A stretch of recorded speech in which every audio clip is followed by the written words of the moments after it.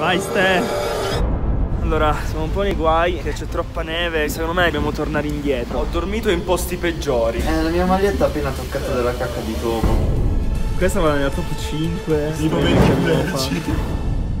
Sì, lo so cosa state pensando. Davide, perché le tue escursioni finiscono sempre così?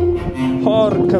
Ragazzi, io non so cosa rispondervi, ma questa volta è successo davvero di tutto.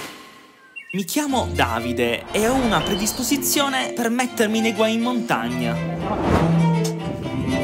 Per carità, non lo faccio mica di proposito, però credo che dalle esperienze difficili nascano i ricordi migliori, a patto che si sopravviva. E l'inizio di queste storie è sempre più o meno così. Ah, iniziamo già a sentire tuoni, cioè nemmeno siamo arrivati e la situazione inizia già ad essere un po' interessante, va?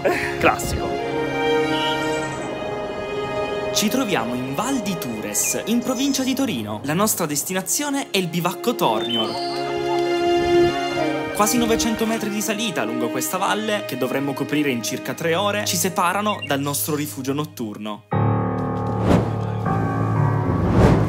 Tutto molto bello. Peccato che, non appena scendiamo dalla macchina, siamo colpiti dal primo presagio di morte. Ah, siamo partiti da poco e abbiamo incontrato una signora che ci ha detto che raggiungere il bivacco è praticamente impossibile. Questa mattina due persone sono andate con le ciaspole e ci hanno messo 5 ore invece che 3, sprofondando fino alle ginocchia. Jenna, cosa ne pensi di questa rivelazione della signora? Un presagio. Ce ne pentiremo tra qualche ora. Io ho una regola. Se una signora del posto ti dice che in cima non ci puoi arrivare, io le devo credere. I presagi di morte vanno sempre ascoltati, specie se coinvolgono il fattore neve.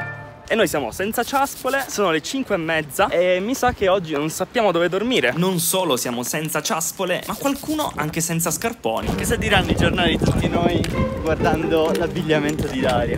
Pensando che al bivacco non ci saremmo arrivati, iniziamo ad interrogarci su dove dormire. Possiamo usare delle tavole di legno. Il legno è un sacco poroso, quindi c'è aria e l'aria è la cosa più isolante che c'è, quindi ci salverà il culo stanotte. Questa è una tavola molto isolante, ottima per dormirci la notte. Sembra tipo una bara. Ho dormito in posti peggiori. Le premesse non sono ottime. Pensandoci bene, la signora di prima ci ha detto che si potrebbe dormire in una casermetta, o almeno così l'ha chiamata lei, in prossimità di una borgata a circa metà strada. Alla peggio ci saremmo potuti fermare lì. Ma improvvisamente un barlume di speranza illumina la nostra salita. Allora, eh, stiamo proseguendo nella valle. Abbiamo incontrato altri due signori che ci hanno detto che secondo loro non c'è tutta questa neve. E non so a chi credere, sinceramente. Ovviamente avrei creduto volentieri ai due signori. Non rischiamo, non possiamo confermare l'ipotesi. Quindi bisogna rischiare. Sì, sì. Magari la signora si sbagliava, magari intendeva un altro bivacco, non il nostro caro e raggiungibile bivacco Tornior. Diciamo che Gennaro sente odore di pioggia e io sento rumore di tuoni. Ormai avevamo preso una decisione. Al bivacco ci saremmo andati, o almeno ci avremmo provato.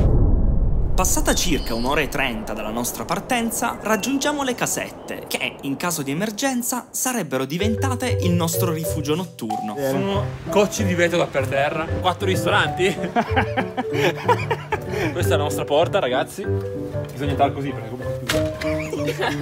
È comunque più ordinata di casa mia. Poi arrivano i cinghiali di notte. Beh, sicuramente non ho dormito in posti peggiori. Niente finestre, completamente sporco e pieno di escrementi. Ma, signori miei, questa baracca ha anche dei difetti. Allora, l'idea è questa: se inizia a diluviare o se scopriamo che non possiamo più proseguire, dormiremo in quel casolare che abbiamo visto prima. Meglio di niente, cioè.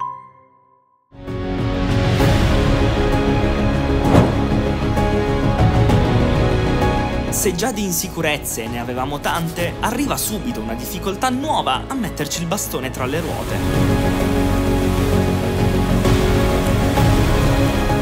Un torrente in piena taglia completamente il nostro sentiero. La corrente è forte, di guardare non se ne parla. Saltare invece è rischioso con quegli zaini molto pesanti. L'unica soluzione che ci viene in mente è costruire un ponte. Però non lanciamolo oh, oh, oh, ecco. Ok, non funziona. Dobbiamo saltare, ma senza zaino. Andiamo. Bene, sono queste le avventure che mi piacciono. Imprevisti, difficoltà, incertezza. Quando usciamo dalla nostra zona di comfort, le esperienze acquisiscono un valore maggiore. Ma c'è una soglia oltre la quale l'inaspettato non ci piace più. E presto ci saremmo ritrovati costretti a superare questa soglia e a prendere decisioni rapide che avrebbero capovolto le sorti della nostra avventura.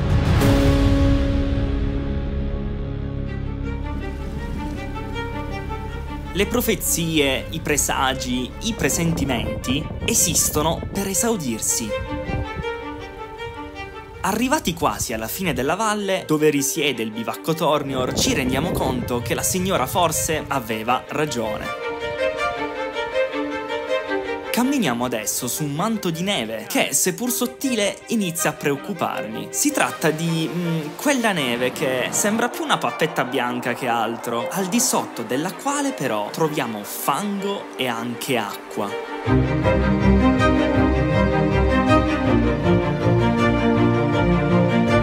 Per evitare di bagnarsi, Daria, con i suoi sandali, si sposta sulla destra orografica del torrente e cerca di raggiungere il bivacco all'asciutto.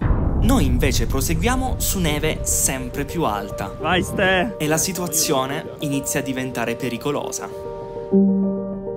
Qual è stato il momento più drammatico? Eh, quando sono caduto fino alla vita nella neve. Ho perso una bacchetta, pure il cellulare, e ho dovuto riprenderlo. Stavo girando le mani, poi Ste è caduto in un lago ghiacciato e ho pensato davvero che saremmo morti. Eppure il bivacco era lì, in vista. Però ho pensato, perché deve finire sempre così? Siamo un po' nei guai, che c'è troppa neve. Più che altro ci sono tipo dei mini laghi di. ehm, di acqua e si rischia di finire giù. Stefano era quasi scivolato proprio in una di queste conche piene d'acqua e ricoperte di neve. Secondo me dobbiamo tornare indietro. Anche perché sta per sopraggiungere la nebbia e poi non vedremo più niente. La parte più brutta è stata sicuramente quando eravamo bloccati su con eh, tutta con la neve e stava arrivando la nebbia e sostanzialmente avevo una paura matta che ci inghiottisse e che non avremmo visto più niente. Daria poi si era pure allontanata e temevo che non l'avremmo più ritrovata. In tutto questo Daria era ancora lontana e non riuscivamo a comunicare a voce con lei. Pensava che saremmo tornati indietro e che l'avremmo raggiunta dalla porzione senza neve. Meglio tornare sulla strada e tornare in sicurezza giù. Noi invece ce ne volevamo proprio andare. Ma che poi tu ti eri dispersa là in fondo e non sapevamo se tu stessi tornando oppure no. E quindi eravamo preoccupati perché dicevamo, ma adesso ce ne dovremmo andare senza Dario.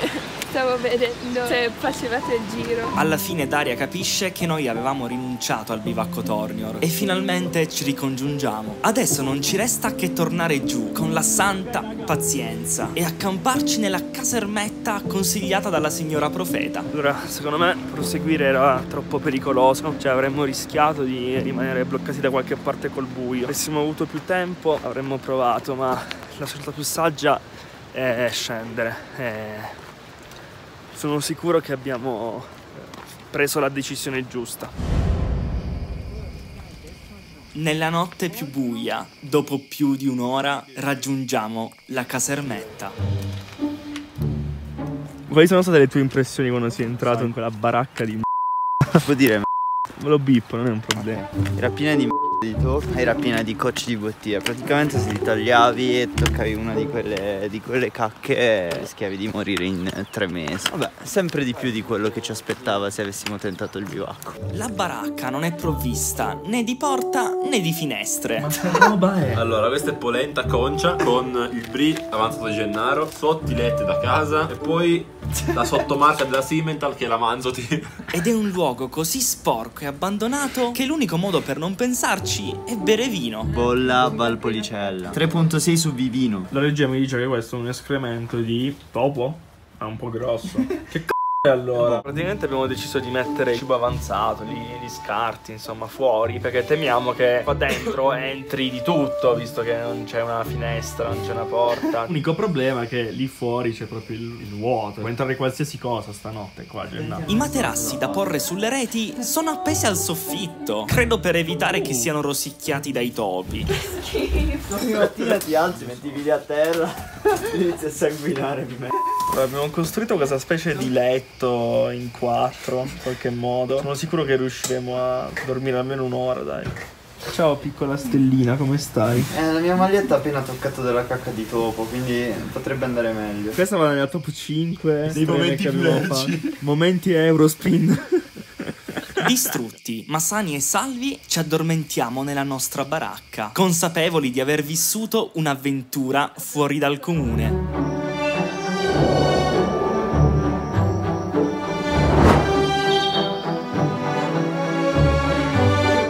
Finalmente ci siamo svegliati in questa nostra casetta, un po' sgangherata, però mi sento meglio, mi sento riposato e adesso siamo pronti per scendere. La servo in forchetta. Così.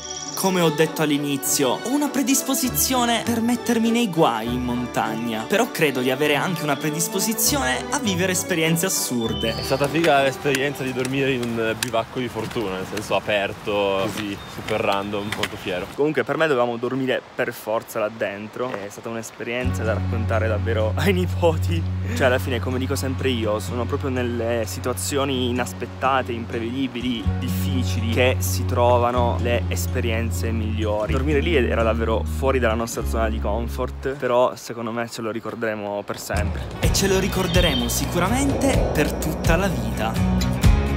Ma vi prego, ascoltate sempre le signore che incontrate in montagna